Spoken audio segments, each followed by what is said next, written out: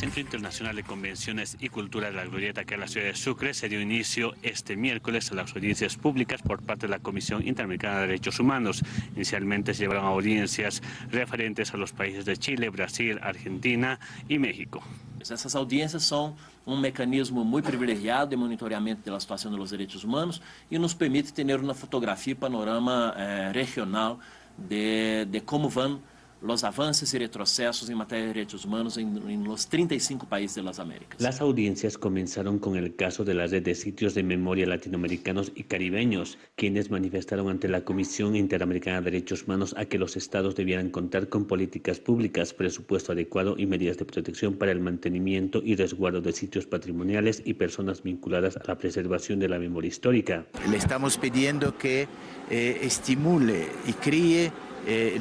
que los estados críen políticas públicas para protección de los lugares de memoria y para el fomento a, la, a estos lugares como áreas de educación a la juventud. En la audiencia, los miembros de la Comisión Interamericana de Derechos Humanos recomendaron que se adjunte mayor información sobre el tema y que los miembros de las SLAC soliciten medidas cautelares en caso de atentados concretos a defensores de los derechos humanos. Eh, lo que sí nos ha planteado la Comisión es eh, bueno, el interés por este tema, solo el hecho de haber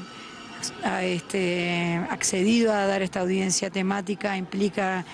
eh, un interés de la Comisión por este tema, una relevancia con este tema. Nos hemos enterado hoy durante la audiencia que la recientemente creada Unidad de Memoria, Verdad y Justicia de la Comisión ha pasado a ser una relatoría, lo cual implica que va a tener mayor volumen, mayor capacidad de,